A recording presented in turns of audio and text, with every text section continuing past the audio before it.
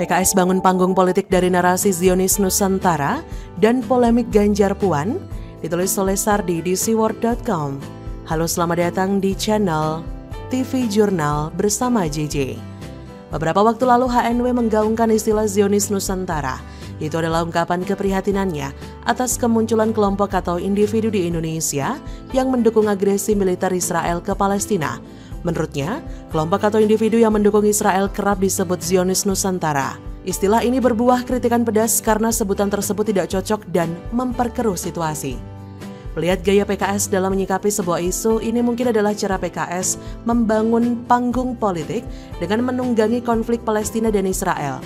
Pakar politik dari Universitas Al-Azhar, Ujang Komarudin, juga ikut menanggapi dan mengatakan sebutan Zionis Nusantara yang dinilai tidak tepat disampaikan.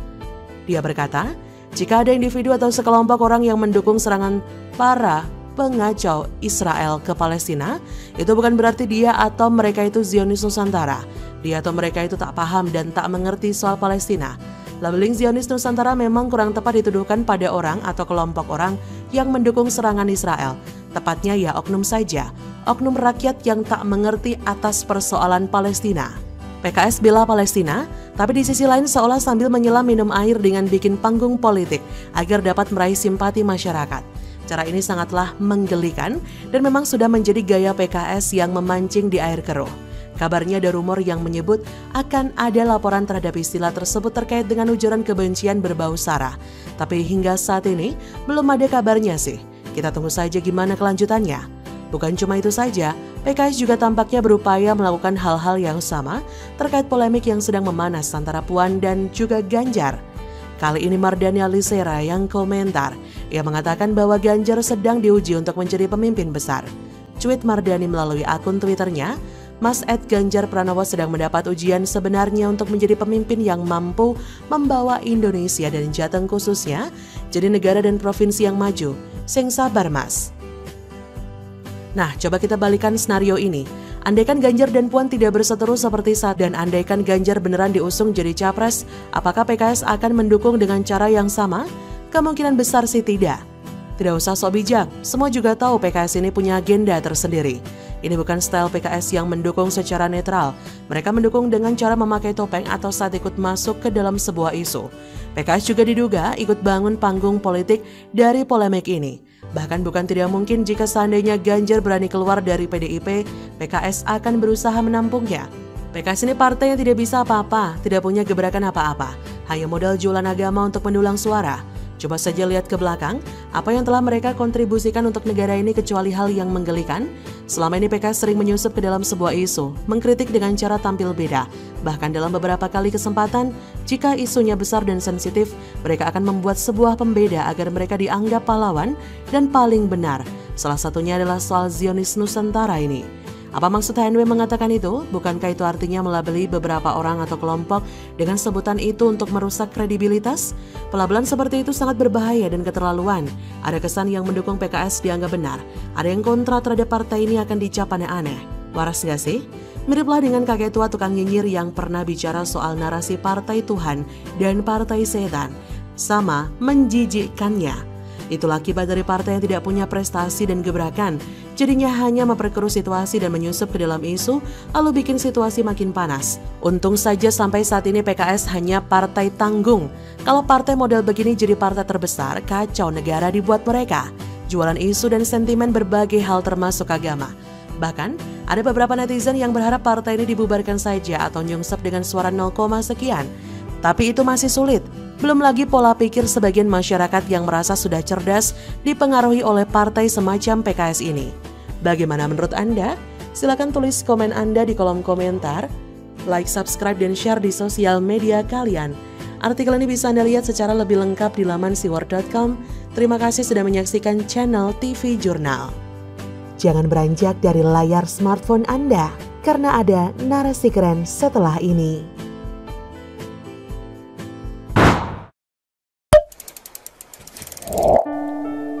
Fakta, korupsi banyak terjadi di era novel Baswedan, ditulis oleh Rizal di seaworld.com. Halo, berjumpa kembali Buara Samara di channel TV Jurnal. Sebelum berlanjut untuk menyaksikan video selengkapnya, jangan lupa untuk klik tombol subscribe dan juga nyalakan loncengnya agar Anda yang pertama kali mendapatkan notifikasi dari TV Now.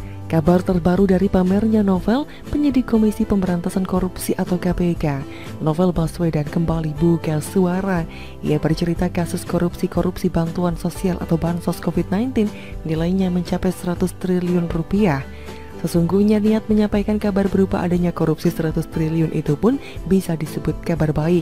Novel seolah pahlawan yang menceritakan bahwa di negara ini bantuan kemanusiaan COVID saja pun dikorupsi. Artinya harus diberantas. Narasi positif dari berita yang bisa kita tangkap adalah seperti itu. Tapi publik jangan boleh lupa bahwasanya di era novel Baswedan inilah korupsi itu marak terjadi. Jika korupsi yang dituduhkan novel itu benar adanya, kenapa mereka, para pelaku korupsi itu berani untuk korupsi? Bukankah lembaga anti korupsi adalah untuk membuat rasa takut kepada koruptor itu makin nyata? Sehingga hasil akhir yang diharapkan mereka, para pejabat dan oknum setempat tidak berani untuk melakukan tindak pidana korupsi. Tapi justru malah sebaliknya, kita dipertontonkan bahwa korupsi itu masih terjadi dan kita harus dengan santainya menonton aksi yang seolah-olah heroik. Novel menangkap tangan pelaku korupsi, padahal aneh. Keanehan pertama sudah diperjelas tentang bagaimana korupsi itu marak terjadi. Keanehan kedua adalah kenapa novel Baswedan bisa hafal betul dan tahu persis seluk-beluk korupsi tersebut, bahkan sampai mampu memperkirakan angka korupsi itu sendiri. Dia, Novel Baswedan, bisa menafsirkan angka 100 triliun rupiah, angka yang tidak sedikit untuk nominal uang yang bentuknya bergudang-gudang. Pertanyaan pun jadi muncul. Yang pertama, jika Novel tahu ada korupsi, kenapa tidak dicegah?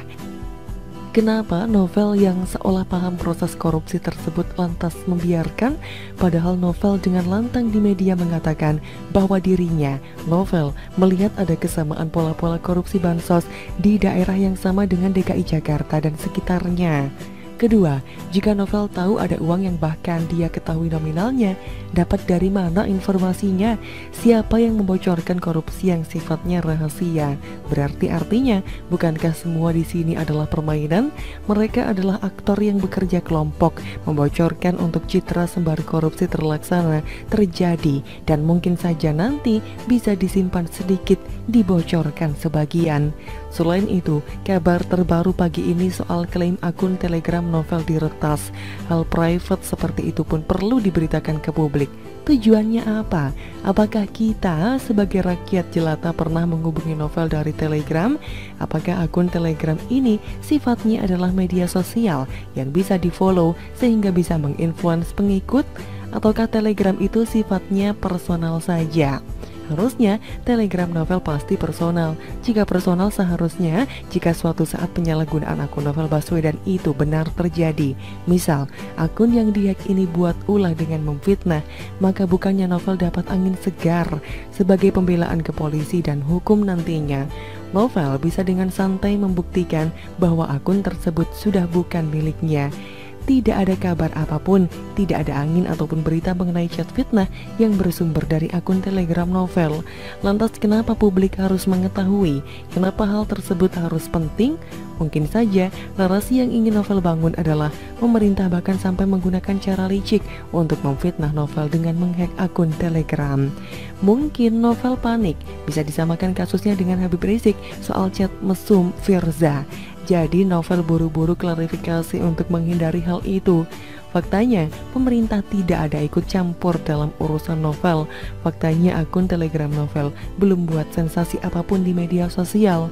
Hal yang bisa saja terjadi atau memungkinkan adalah sesungguhnya akun Telegram novel memang mengandung unsur-unsur yang berbahaya, seperti chat dia secara private ke rekan kerja yang mungkin isi bicaranya sangat sensitif. Dan ketika akun tersebut dihack, paniklah novel karena dia takut apa yang dia tutupi terbongkar di publik.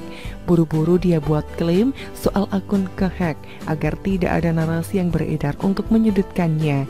Sejatinya novel ini misteri dan aneh, sibuk bela diri seolah dia pahlawan paling suci, tapi publik banyak lupa kalau di eranya dia ini, bahkan orang tidur pun bisa ditangkap karena korupsi sambil tidur. Hebat bukan? Novel memang beda. Bagaimana menurut Anda? Silahkan untuk tulis komentar Anda di kolom komentar Dan jangan lupa untuk like, subscribe, serta share ke seluruh sosial media kalian Samara pamit. Wassalamualaikum warahmatullahi wabarakatuh. Bye